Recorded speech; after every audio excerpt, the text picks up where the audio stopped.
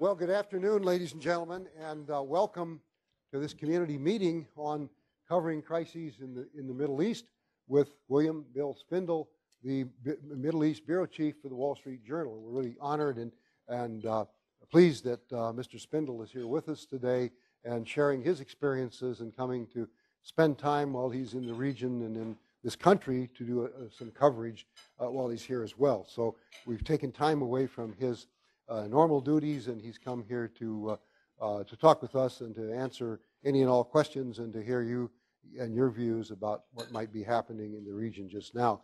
Uh, having a, a high-ranking person from one of the world's great newspapers is, of course, very special for all of us. It's, it's the role model in the world for how to cover news. And uh, some of the forms and, and traditions of the Wall Street Journal are much emulated elsewhere in the world, and it has an extraordinary and well-deserved reputation and one that's continued for a long time. And it's, it's moved to some extent from being a newspaper that was primarily uh, oriented toward the financial communities and financial news at one time to a much broader world portrait. And, uh, and, and that's some of what we're going to get today.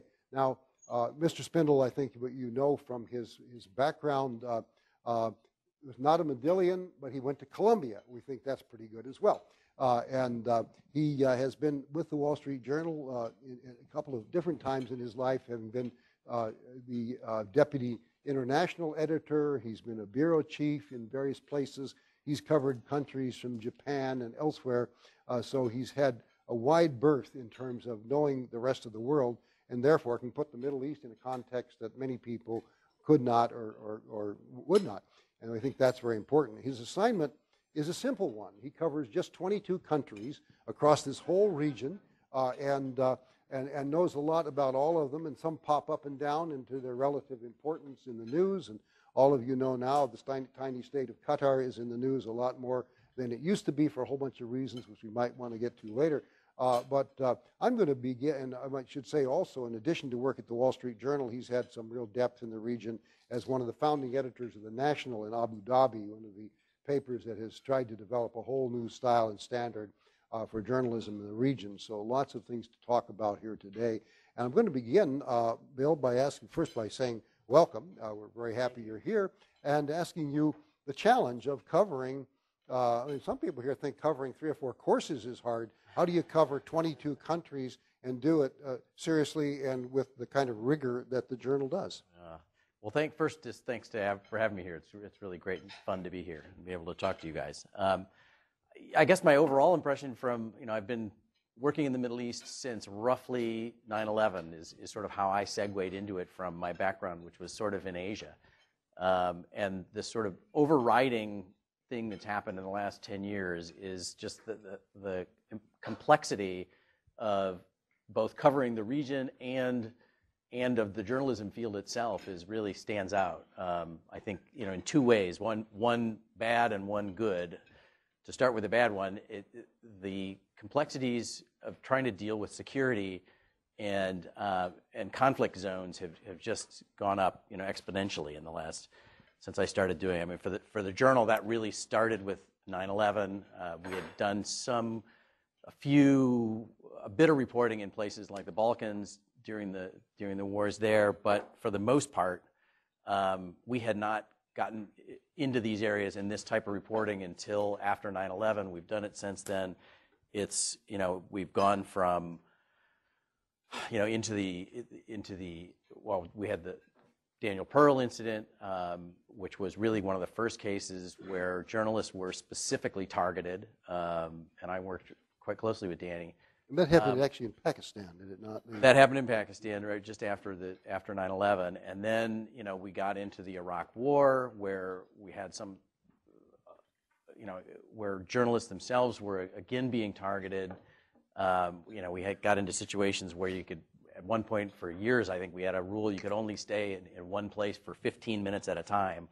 Um, so if you were doing an interview, you had 15 minutes to do it, and then you had to leave, so that it would be hard for people to keep track of where you were. Um, now we've gotten, you know, it's gotten even more complicated with trying to cover um, what's happening in Syria, um, in, in Iraq, and where that's left us in many cases is is how do you cover these areas where either you're getting a limited view of what's going on. I mean, even a place like Lebanon now, we've had to sort of divide up into security zones, and at various times have not been able to do the kinds of reporting that we'd like to do to get a handle on what's really going on there.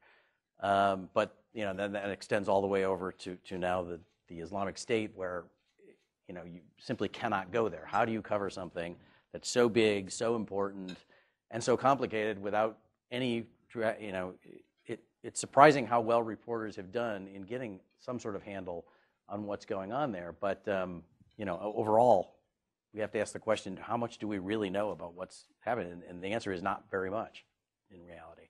Um, and then the other side, just to real quick say, the other side of the complexity is the industry itself, which has really evolved in so many amazing, interesting ways um, with social media, with video, with so the, the sort of means by which young journalists have to sort of shape the, actual medium through which they're reporting is, is really astonishing and, and super exciting in my, in my opinion. Really, really amazing. Of course, your parent company has been a pioneer in new technologies, and a, a newspaper is always, for many years, has been more than a newspaper with news services and video services right. and all the rest. Yeah, it, yeah. Just, it gets more complicated. With regard to the specific uh, crises in the region right now, uh, at least some of them. The, what's happening in Iraq and Syria, the, the whole, whole war zone there, uh, uh, the, the issues in, uh, in Israel and Palestine over Gaza. To take those two and, and, forget about much of the rest of the region for a moment, which is not easy if to I, do. If we could only do that. All right. I, I was saying it, some people the other day, I was at the Council on Foreign Relations in June in, in New York, and all the reports on the Middle East were – incredibly depressing. And at one point, Madeleine Albright was talking, and she said, when Iran is the low hanging fruit, you know you're in trouble. Uh, and so, uh, uh, what about these two, these two particular, somewhat interrelated, somewhat separate? How do you how do you cover them? What are some of the kinds of issues? And you have people, volatile voices on both sides and on multiple sides, yeah. Uh, looking at your reporting, and I'm sure right. peppering the uh, the journal with right, uh, with right, their comments. Well, the, the first thing is is what you were saying about just trying to cover it all at the same time. I mean, there's been a big shift in the last. Really, it started with the Arab Spring. I think that, that the the Western media pretty much used to view the Middle East. I'm generalizing here, but we sort of saw it as sort of one big homogenous place that we pretended was all the same, and then we'd pick out the story of the week, and we'd all rush to that place, and we'd all do that story as if there was nothing else going on of importance anyplace else in the region. And that really changed during the Arab Spring, where, where suddenly there was interest in the, the separate trajectories of all sorts of different countries. And that's cre- created, although you know, my staff has grown since 2001, we had one single correspondent in the Middle East. Now we have probably 18 people working in various places. But even with the 18, it's, it's virtually impossible to keep up with all the things that are going on. So when you've got these simultaneous crises, they really should have them in a serial fashion. It would be a lot easier, but they don't.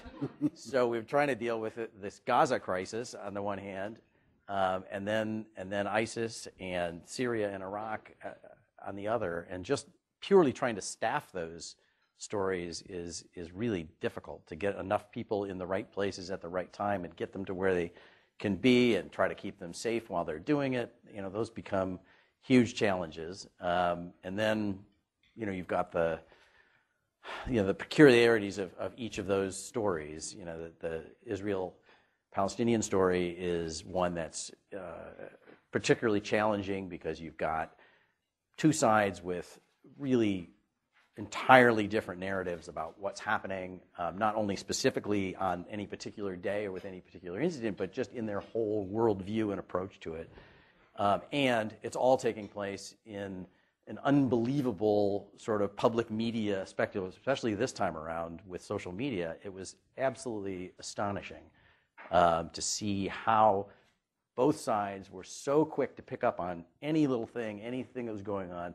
They'd throw it into their propaganda machines, and out it would go into the world. And then there'd just be this sort of furious flying of information around. Um, it's it's really a difficult situation to operate in. I mean, we had one reporter, for example um, at one point, I forget, I wish I could remember exactly what he did, but he, he sent out a tweet that picked up 12,000 followers in 15 minutes um, as it sort of was thrown into the media machine uh, or the social media machine. So that's been that's a, a huge trying to cover something in that echo chamber is really difficult. Um, and then the, the the Syria, you know, Iraq story is really more one of sort of logistics and how do you get to where you need to be to cover it, and often you can't. And so how do you how do you then cover it intelligently?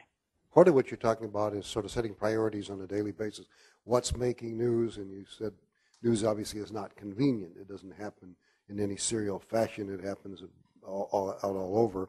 On the one hand, of picking your your topics and, and what's going to be important today and why.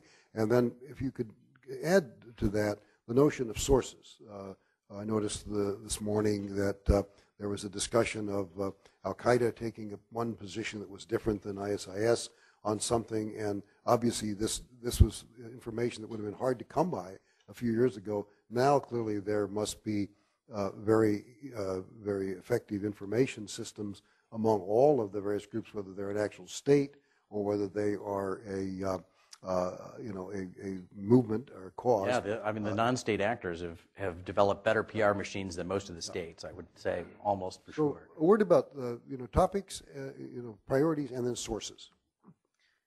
Well, I think one of the things priorities you were saying that one big difference is it's not just that news is you can't control where news is breaking out. It's that no longer does the, is there a sort of narrow group of, of journalists that can decide what to pay attention to. You're, you're constantly being pulled in various places in various ways by social media by the ability of, of that story to find its way into, into public and have an impact um, beyond and then we've got to react to it um, so that's that's one big challenge. Um, you know, sourcing is like you say. There's some of these groups um, have, are, are, very adept at, at public relations, and in many, and like I say, in many ways, more than the states themselves have developed effective ways to communicate. It's the challenges, of course, getting beneath that and, and understanding what's really going on beneath the surface uh, when you, especially when you can't get someplace.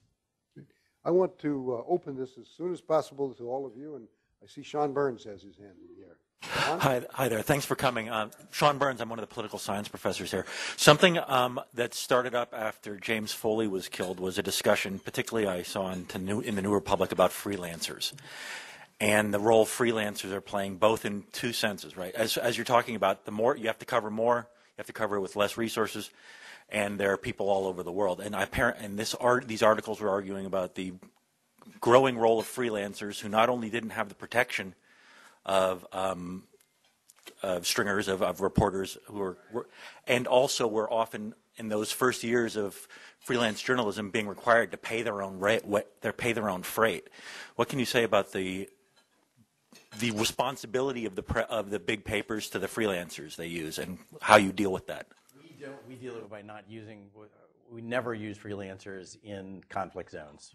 We don't, basically, we won't send someone in.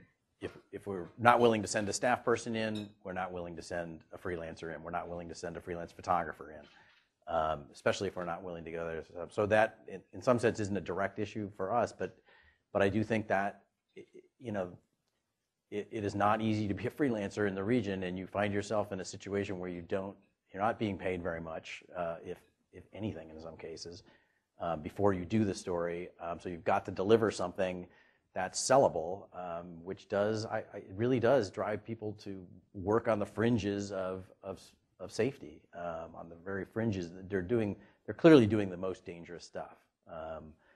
And, you know, that's with the least support in doing it. You know, we're able to hire security firms to work with us at, you know, $1,500 a day.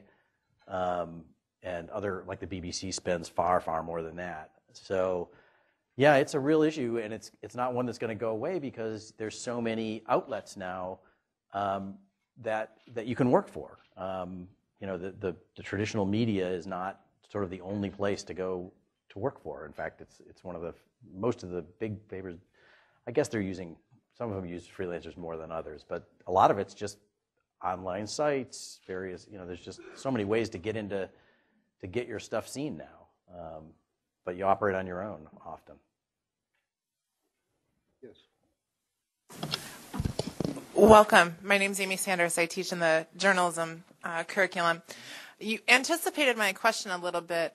Um, what are some of the general things, and, and, I'm not sure how much you'll be comfortable sharing, some of the general things that you talk to your journalists about in terms of safety, things that you might tell them that are different here in this region than if they were other in other parts of the world?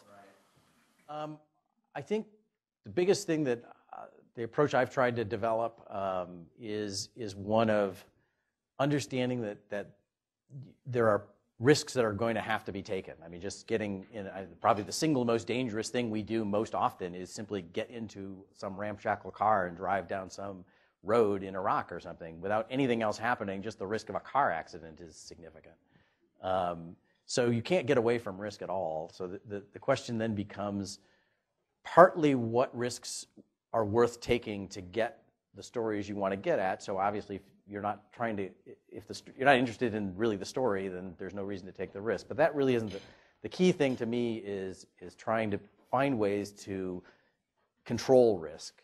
To me, the crucial thing is we try not to do anything where the risks have gotten out of your control. So if you cross a border or you take an action, you go someplace, and suddenly the risk goes from what you thought it was going to be to much riskier than you realized that you have some way to dial back that risk and get to a place or a, a position or be with a person or somebody who can bring that risk back down to down to reason. I mean, you know, and this ranges from where you go. I mean, I had an incident when I was in Syria, um, up in sort of the Latakia area, which is where all the uh, the Alawi kind of. I was at a funeral um, for someone who had been killed in, in fighting as part of the the army, and um, it sort of got around that I was an American reporter, and it got around in like five seconds.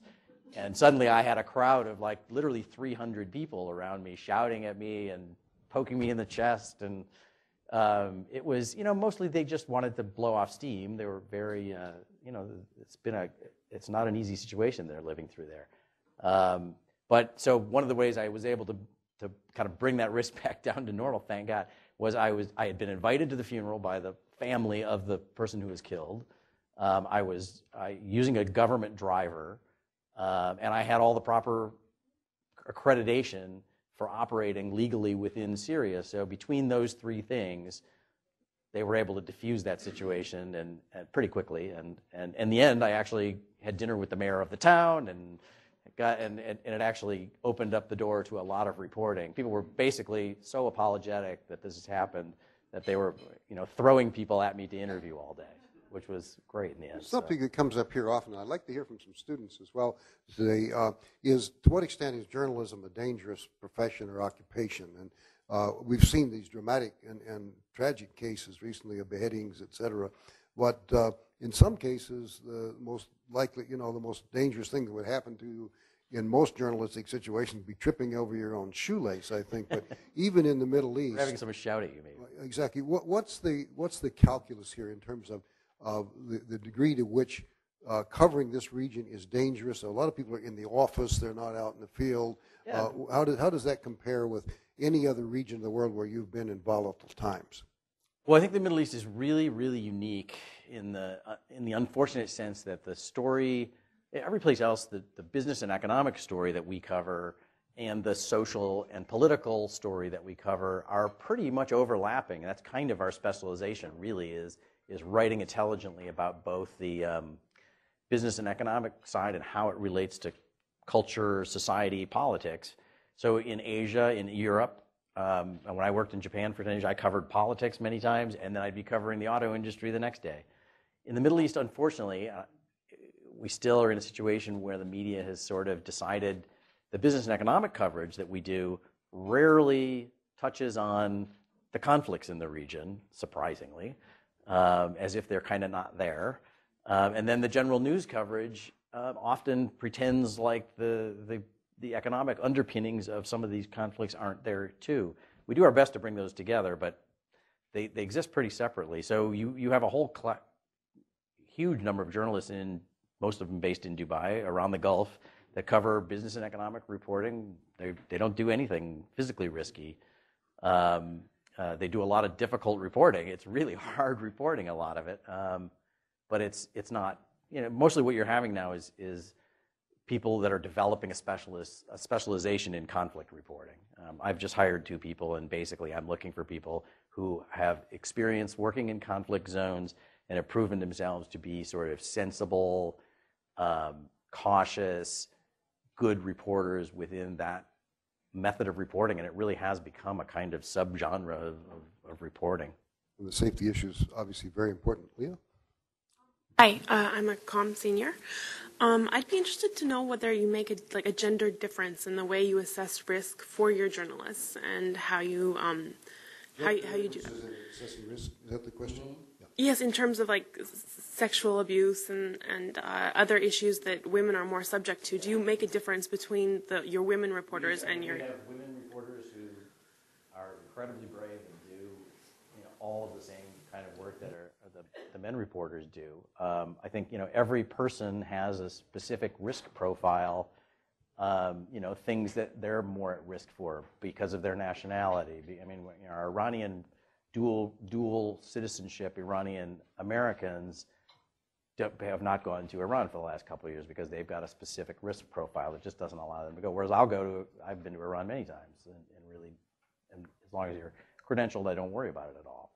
Uh, so everybody's got a specific risk profile, and I think you know women have some specific risk things that they need to pay more attention to, um, perhaps. But you know those are all things you just manage within the within the way you do business and the way you operate. There's certainly no hard and fast rule. Some can do this and some can do that. They all, you know, in some ways, in a place like Iraq or Syria, it's I'm far more comfortable with our women reporters operating because at the end of the day they can throw on a on and be in a car and really not be noticed. Whereas I've got a six foot two, you know, American guy uh, who looks like me as our uh, one of our Iraq reporters, and, and he can't hide easily. Now, in Egypt, that's been a big advantage for him because he, he's able to be pretty intimidating when he needs to be. And I've seen him in the midst of a crowd sort of, you know, tell people to back off right now, and they do. There's just different ways of dealing with this. Um, each person finds an, an individual way, but there's certainly no rules that we. You had a question back here. Hi, um, my name is Umayma. I'm a media and communication sophomore. Uh, one of the questions that we mentioned yesterday in our exploring global media class was, um, you like as a, as a global corporation working here in the Middle East, how do you manage to compete with like local media, like let's say the national? How do you compete with them? In some ways, I think we got occupy different spaces in, so, in, in some ways, for better or worse. I mean, I think you know, as a as a as a foreign media outlet, um, we we really do operate. We kind of do and write about whatever we choose to, um, and we don't have to navigate a lot of the, rules and guidelines and things.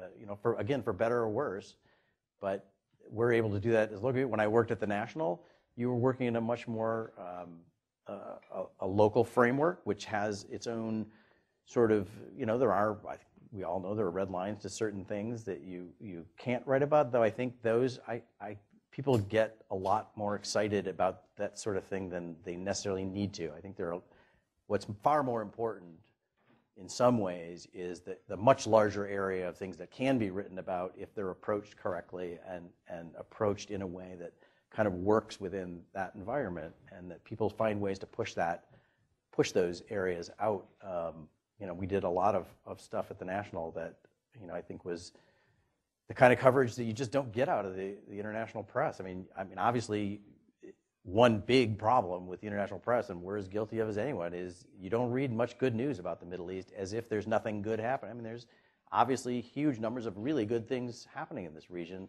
They don't get much play in the international press. That's where the local media really can, I think, hit both on the successes of, of what's happening in many of these countries, but, but also can deal with some of the issues that matter immensely to the people who live here, like the National focused a lot on education, healthcare, traffic safety. I mean, you know, the international press is never going to write about traffic safety, but it's a huge problem. And, you know, it's a huge public health issue. In the UAE, where I live, it certainly is.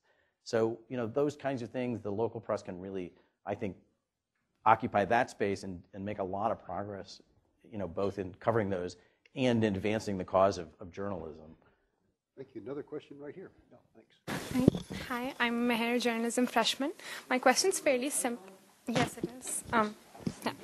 I'm Meher, journalism freshman. My question's fairly simple. Most of these conflicted regions that you have reported in have heavy restrictions on their media.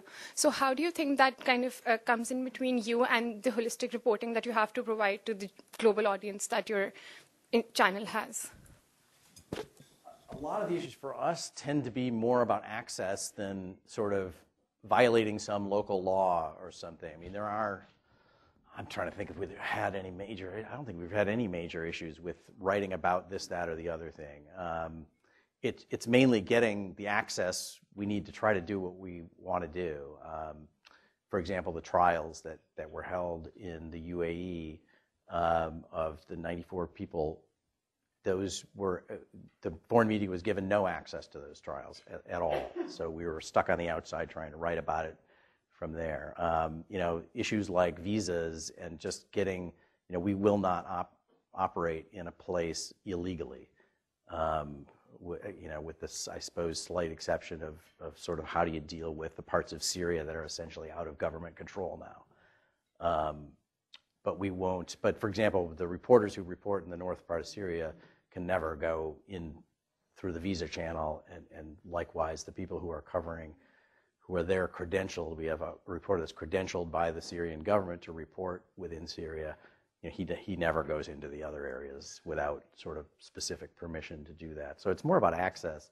You know, when I go to Iran, for example, I have to apply for permission to go to any city that I want to go to. Um, so we, you know, we, we just live with those restrictions. We won't, we won't violate them. Well, one issue here is clearly transparency and lack of it uh, that you're dealing with and trying to get information. And then you talked also about how does one navigate around local laws, uh, not so much customs as laws, that um, may or may not be enforced. And of course, one that's very much in the news today is the new cyber law introduced here yesterday, and not unlike cyber laws elsewhere in in the region and in the Gulf. Um, you're a, uh, a digital medium as well as a paper medium. Uh, Uh, does that worry you? Uh, how do you cope with that particular uh, issue? Because every country you deal with has some laws, presumably related to Islam, to uh, the chief of state, right. many other things that are verboten and have long prison sentences associated with them if one is prosecuted. So right. what's what's right. the concern? Well, we don't publish, I mean, I guess online, it's, it's hard to, again, these laws are often difficult to figure out what the precise interpretation of them. I'm not, a, you know, a lawyer or a media lawyer, so in terms of the exact, but I, I think in practice, I can say we don't, we tend to just go about doing what we, what we think is good, and we try to do it sensitively, and we try to do it um, with some deference to, to local customs and, and and laws, but we tend, as an international body, tend to tend to get, I think, around most of those things. They just don't get applied. But then we get, you know, we, we often don't get the access we need to to a country or something like that. That's certainly happened times where we've been told, well, that's it, you're not able. I mean, for many years they wouldn't let the Wall Street Journal into Saudi Arabia because they didn't like our editorial page policies. Um, so. So that's sort of from the international press side. I think from the from the local press, from my national experience, I think that they're, you know, all these countries are, are, are like everybody, kind of groping to figure out how do you deal with it? How do you get the best out of the new world of social media and, and, and just regular media? And what do you get out of journalism that helps and works? And how do you get that to work in your society? And that's just a, a kind of ongoing push and pull that's going to go on for, for quite some time as, as we, but I would say I think the, the key thing is that all of, nobody, you know, one of the big things that we were always accused of in the national, which I just think was not true, is you're trying to impose some sort of Western model of journalism on. Think, well, that that really isn't what we were trying to. We didn't start that newspaper. We were invited there um, to do it. We tried to get a lot of local participation. Um, I think most of these places have. They do see. I mean, you guys are all here at Northwestern University in Qatar. They must see a, a viable, energetic um, vibrant role for journalism in their societies of some sort. That doesn't mean they're going to adopt a, you know, the U.S. model of journalism uh, for sure. Uh, but you know, ultimately, if you want to get something of value out of it, you're going to have to sort of expand the, re- the realms of transparency. You're going to have to expand the realms of accountability if you want the benefits that those will bring. And, and that's, you know, that's a struggle. And, it, and it's one that's going to go on for a long time, I'm sure. Back to the personal question there of, uh, to what extent um, does it help or does it hurt to be from the Wall Street Journal, an internationally known medium? Uh, There was a reference earlier to some of the freelancers, and uh, James Foley was working for a pretty obscure outlet by comparison. Is that an advantage or a disadvantage? Do people know what the Wall Street Journal is? Most of your sources? It depends on the situation. I think our particular uh, challenge or advantage, or however you want to put it, is that there's, uh, you know, our opinion page obviously has a very strong opinion about many things in this region that does not necessarily conform to what people in the region believe or, or feel. So often we get, I get a lot of that criticism, and you have to try to explain that that's a separate part of the paper. I have no, they, they don't influence our policy. Um, so I deal with that a lot. I mean, I deal, right, you know, like at one point, um, we had some difficulties getting into Saudi Arabia, but I think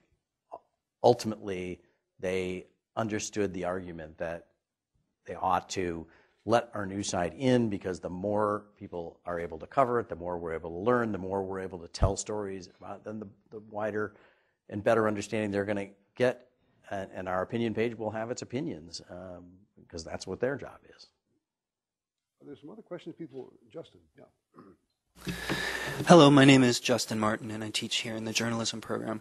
Um, over the next three, three, four, five years or beyond, um, do you sense that any major global news organizations might establish news bureaus in in Qatar, um, uh, giving Qatar's um, growing geopolitical presence, um, perhaps bureaus in addition to um, those in the UAE, or perhaps in the, in the stead of, of those in the UAE, or is the kind of media ecosystem in Dubai and Abu Dhabi too firmly established? Well, I think, I mean, there are certainly correspondents that are based here. I, I don't know that, um, you know, uh, it, it's really hard for me to speak beyond our own sort of situation, whereas I think we're pretty, Dubai is, our, is a regional business hub for us, so we have six or seven people there, but in some sense, we don't really have a, a main office in the region anymore. We have, you know, we have almost as many people in Beirut now as we have in Dubai. Uh, we tend to shift people and spots around as we need them. So I don't know that we, we need to have a big hub um, in any one particular place. One of the things that uh, you do very well at the Journal is covering not just the factual story on the ground, but the consequences of it, whether it's economic, social, whatever. Could you speak about the consequences of uh, coverage of, uh, of uh, the Israeli-Palestinian uh, disputes right now uh, and uh, how that's playing in Europe and in other places in terms of people, the on-the-ground war, the propaganda war, Right. the players who are out there, uh, uh, the confusion early on as to who started it, whether the Islamic group that started it, it, it, said that neither Hamas nor Israel wanted the war at that time. Right. Uh, I've heard that from diplomats, and yet it's happened, and that's sort of for, that's a forgotten part of the narrative, and now it's the, uh, the the two sides, and there are many. Yeah, I mean, I think a lot of our coverage right now is is focusing on the aftermath, assuming it's now after, um, and trying to look at sort of what were the not so much sort of who started it in the in the sense of who fired first, uh, but what are the underlying reasons why this conflict not only happened this time, but is we're through three times now, um, and and is it likely to occur again? Is anything meaningful? Happened um, that's going to head that that sort of thing off. So we're kind of looking at both sides there, trying to trying to get that. I mean, obviously in Gaza, the big story is kind of redevelop, you know, rebuilding it. How is that going to happen? Um, how will the sort of division within the Palestinians get resolved within that context? And on the Israeli side, it's it's a lot about sort of whether fundamentally the, the underlying dynamics of what they saw in that situation have, have changed in any case. I mean, it, you know, it does, in many ways, one is, wonders has much fundamentally changed at the end of that. Whereas I think you can look at the ISIS Iraq situation where you can say, wow, it does seem like something profoundly new is going on here. It's very difficult to see how that situation gets rolled back in any way to where we were before. Wherever we live in the world, we're always hypersensitive to our local situation. Either uh, when I used to work with, with graduate students at several universities, every graduate student would come in, and the first paper the international students would, they'd write a paper about why their country wasn't being covered in the local media.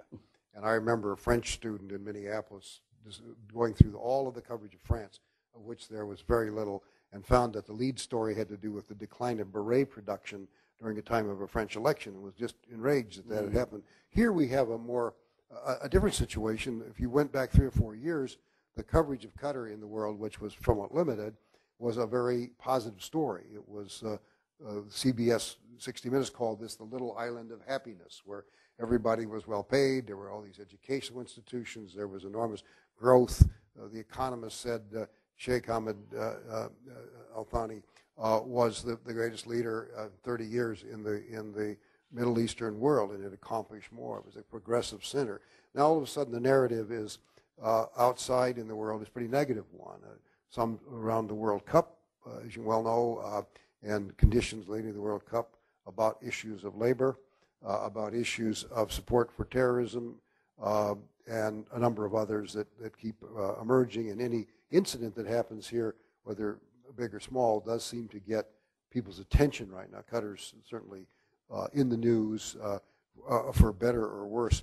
Could you say something about um, uh, you know how we make sense out of that and uh, really the relationship in effect between facts and truth? Sometimes a story might say somebody did something in 2012, it was a horrific thing, and the assumption in a New York Times piece might be that that generalizes everything that goes on today. Or uh, money is given to Hamas of $400 million at a given point. Uh, and what was that for? Somebody here will say Hamas is a legitimate elected representatives of people of Palestine, and therefore that should be off the table. I mean, these are these are very conflictual uh, scenarios, and there's fact behind most of this, but not necessarily, in my view, truth. So, uh, how, how do we communicate that as, as journalists? Yeah, well, uh, the question of why why it gets covered um, generally, um, aside from the question of whether the coverage is fair or not, if we can break those into two parts, um, the why it gets covered is is the Gulf generally, and Qatar very specifically, has has you know the story of the Gulf for the last ten years is how to be, integrate more into the global world, the global economy, the global po- politics. Um, in many ways, the countries of the Gulf have internationalized their security strategy um, and uh, and done things like the World Cup. Um, if you're stepping out into the world, if you're inviting the world in, then there's going to be more coverage because you're you're that's what we do. We cover things we care about. So, in that sense, it's a great thing, right? We care about it, so we're covering it. Um, you know, are they getting a bad rap? Well, you know, I, I think generally news coverage focuses on difficult things and, and problems. Um, and so they're getting a, a dose, along with the rest of the Gulf in many ways, of, of critical coverage um, in maybe its best expression, but there are certainly, you know, ways to, to, to question that, or has it been done fairly? Has the, the broad, I think often, it, it's certainly a fair criticism generally that the context is difficult to grasp sometimes in the Gulf, so these stories can get reported, and this is just a failing of the media. They, they just, we focus on one little thing at one little time. We've got 500 words or two minutes or whatever, and the larger context that some of the stuff is taking place in does tend to get lost. So then, the, to me, the question becomes, how does one react to that? And you know, generally, as a journalist, my feeling is that the better the solution is more coverage, not less, uh, more transparency, not less. Um, and, and I would think most, frankly, most communications professionals would would tend to agree with that um, as well. But that's you know that's a it's a difficult thing for um, this part of the world does not have a, a, tr- a strong tradition of sort of everything ought to be out there and open. Um, it just isn't the first reaction that everybody out here has. Um, so that can sometimes, I, I think, make it difficult to, to tell the whole story in some ways. Yes, Mary. We- We have uh, Mary Dedinsky. Okay. Uh, we have a lot of journalism and comm students here, and they're going to be thinking about getting jobs after we've trained them to be journalists and, and communicators. What do you see as the horizon for these students? Because we were talking about it, and actually, Yeah, yeah, yeah. No, I think I it's think pretty exciting. It- Yeah, I do. I think we're after a period of real difficulty in the in the industry. Um, I do think there's just incredibly exciting stuff going on now. Um, it's a little scary if you're my age, um, but it, it shouldn't be scary at all to, to, to anybody who's in their 20s and well into their 30s. I think um, you know there's just there's a a- an opportunity to shape the not just like the stories you're writing, but the actual medium through which you're reporting it. The way you can control video and graphics and, and stuff is now in the hands of reporters more than it's ever been. Um, you can get your own name out there in many ways. You can shape coverage through the actual medium through which you're reporting as much as you do what you're reporting about in a way that we never were able to growing up. So that, that's super exciting, I think. Um, and I also do think that this this this new media stuff in the last year, two, three, has really gotten meaningful traction in terms of of actually coming up with businesses that are able to offer jobs that you're not going to get rich in journalism still, believe me, but th- they do have some pretty impressive positions. We're seeing the Wall Street Journal is fighting in many ways to keep people from going to some of these. We've lost a number of really top people to uh, to online publications just in the last couple of weeks, um, uh, and then to places like BuzzFeed and you know uh, specific industry sites like The Information, um, and then in turn we're hiring people like we never have before from some of these places specifically because they do bring in skills that we are not all that great at necessarily. Um, I've got a reporter I hired last year, I guess a year and a half ago now, um, partly on the strength of uh, a blog that he had been doing um, and, and, and sort of the social media prowess he'd, he'd shown. That was a big part of why, there were many other reasons too, among them that he had proven himself as a, as a very good, objective, talented journalist. Um, I recently hired a deputy from an online uh, outfit, um, partly because the, the experience she had demonstrably in sort of online use of graphics data and stuff, which we're doing a lot more with. So it's pretty exciting, I think. Yes, Nicholas. Uh, hi, I'm Nick, a freshman journalist student. Um, how much autonomy does the Wall Street Journal have from News Corp? And has your department specifically ever encountered any problems with regards to maybe the Murdoch agenda? You know, that is not, that was one of the big concerns of a lot of people when, um, including some people within the journal, when, when Murdoch bought the paper. Um, but I, I really don't think those, I- I just think it's very hard to demonstrate that in any meaningful way that, that there's been any political agenda at all. In fact, I think we're, we work extra hard to keep our, you know, what we sell basically is journalistic credibility. Um, and we work pretty hard to, to make sure that, that that kind of influence is, is not there. We, as a new staff, we operate, you know, within, we are guided by our, our, our instincts. We tell the stories as we see them. Um, on the opinion side of the paper, well, it really hasn't changed much uh, from before, but they clearly have their, you know, they have an opinion. Again, that's their job. That's what they're supposed to do. Liz. Hi, my name is Liz. I work in the research office, and I'm asking this question on behalf of a colleague who's not here, who's interested in best practices in vetting um, information reported that the journalist is not able to report themselves. Um, so when there are conflict areas that you cannot send a reporter into, and then there's um, user-generated content provided on YouTube, Twitter, et cetera, uh, what are some of the practices that the Wall Street Journal employs to um, judge the veracity of that information? One of the ways that we leveraged News Corp basically was News Corp bought an outfit called Storyful, which had basically started a business of verifying video from remote locations that's up on YouTube or something. And they, they developed a whole business selling to other media organizations, and they still do that. Um, but now News Corp bought that, so that's now part of our family. So we we do um, use them quite a bit. They've developed some pretty interesting techniques for figuring out whether a video is likely legitimate or not, um, using all sorts of clever ways of, of um, satellite imagery and angles and, and um, evaluation of the quality of the video and translation. And they sort of put it all together quite quickly on a news schedule to give you some sense of whether that seems to be a, a legit video. Because that's, yeah, we, it's a huge issue for us. What do we, to what extent as a news organization that really is, again, selling kind of journalistic credibility, to what extent can we just throw something up and say, well, this is a, this is a video from Raqqa? You know, we don't feel like we can do that without some significant effort to determine whether that video is real or not and what it's and, and you know you've seen many many cases where these photoshopped photos or you know videos that turn out to be from some other conflict have, have popped up. So we're pretty cautious about it.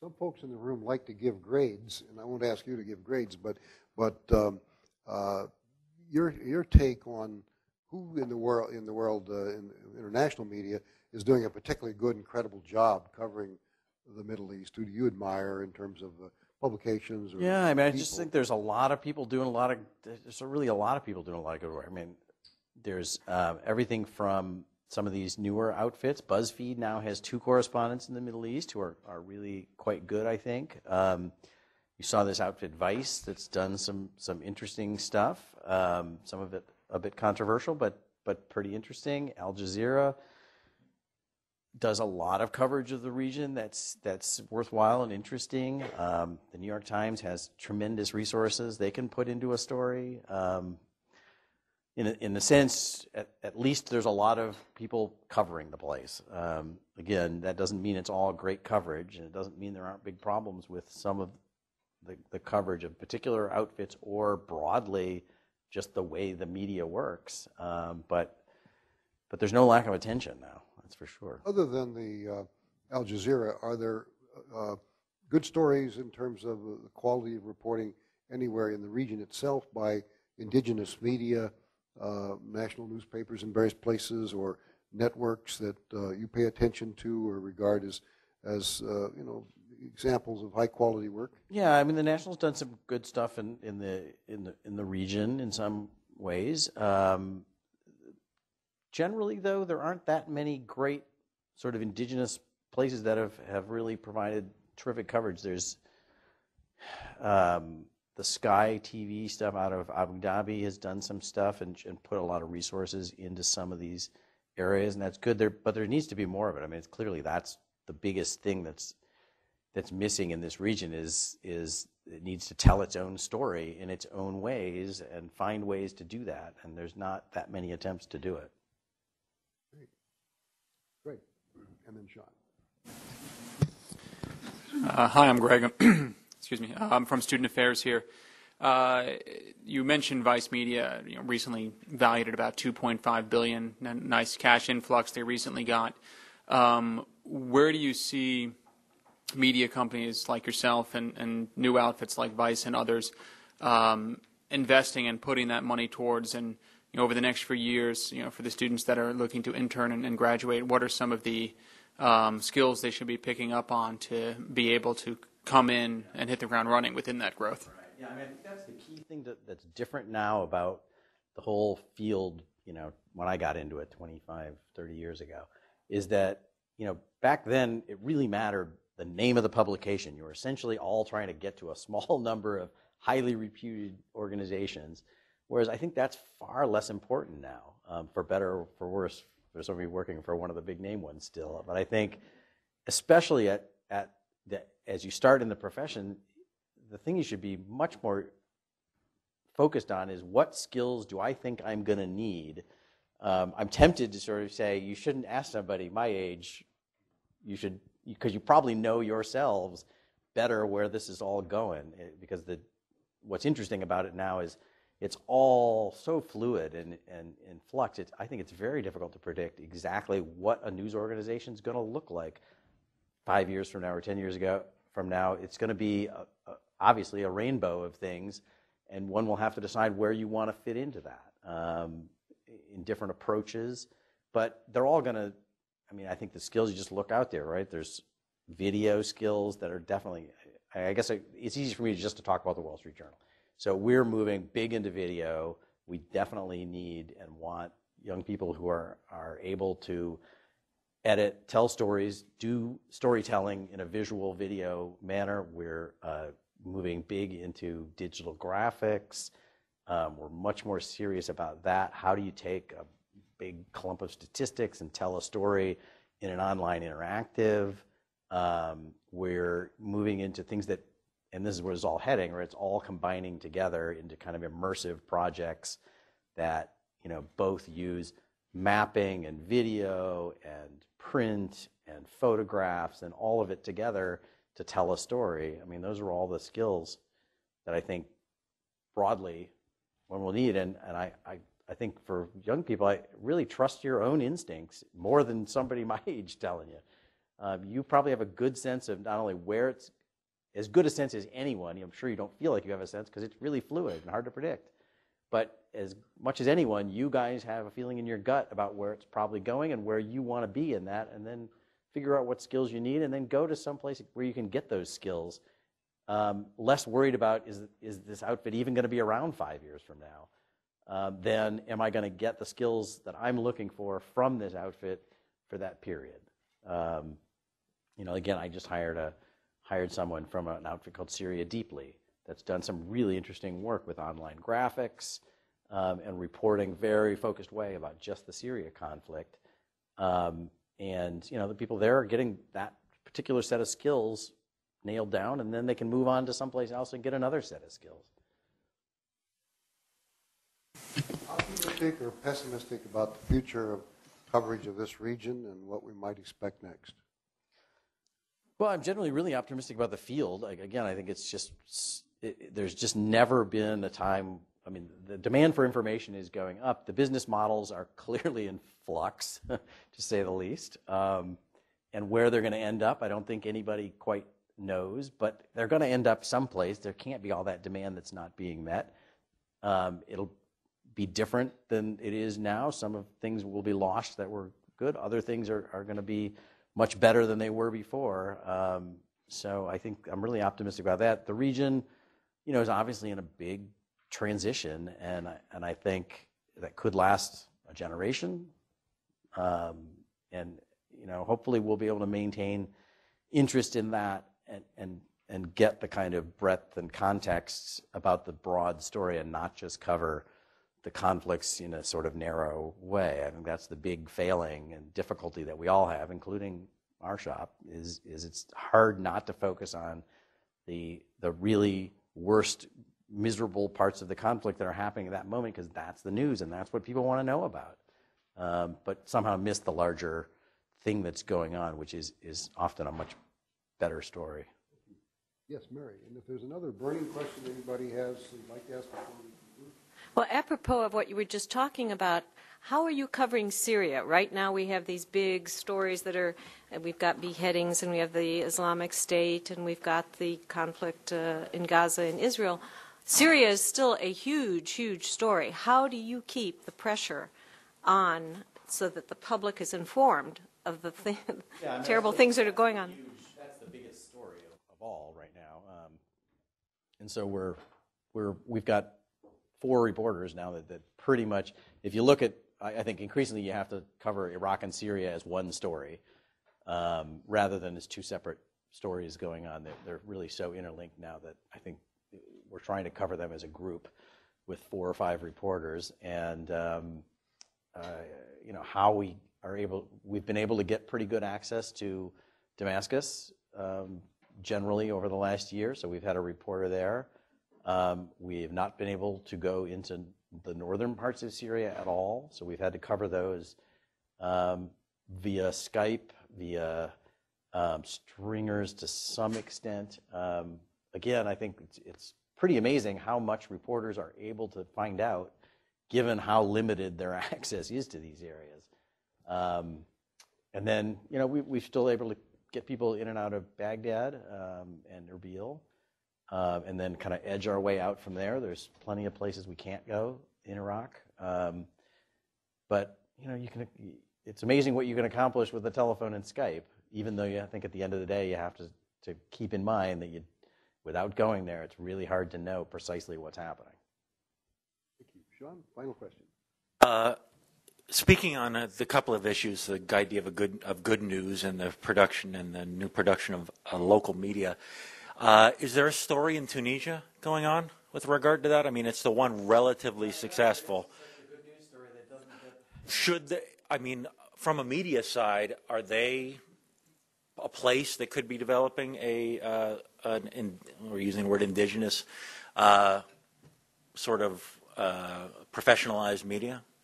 You know, I don't know the situation there well enough to know that to that extent. I mean, I think that's an example of a story. So, like, just to go walk you through my decisions as a news editor, you know, I've got a limited number of people. We've got all these conferences going on. To what extent do we cover the one place that does seem to have kind of sort of finding its way through this process without it being a disaster yet. Um, and uh, so, you know, we'll probably go back around the, uh, the election, maybe sooner, to check in on that process. Um, I think, you know, it's, it's still a little bit hard to argue that Tunisia is somehow going to be a giant model for the rest of the region. It just doesn't seem to be going that way. Uh, but that doesn't mean it's not a story worthy of telling or one that, that doesn't say something about many of the important issues that, that the region is grappling with. So I, we, we do need to get a correspondent there. But yeah, it's really hard to sort of say, okay, well, cut free from Syria now and go do that, partly because we have, you know, I've got a guy in Baghdad who's been there eight solid weeks now. Um, and he can't, I can't just sort of say, well, now ship over and keep working and go to Tunisia. He's got to take two to three weeks off just to, just to sort of recover um, from the, the, the intensity of these assignments is, is quite daunting. Um, and people really have to be, uh, uh, they have to have a lot of fortitude to do them. Well, Bill, your visit here is a great gift to our school. You've met with students uh, earlier this morning with faculty. You're seeing other folks over the next couple of days, and I'm, uh, on behalf of all of us here, enormously grateful to you, you. for this and for sharing this with the community today. So Yeah, thanks so to be here. much. Thanks.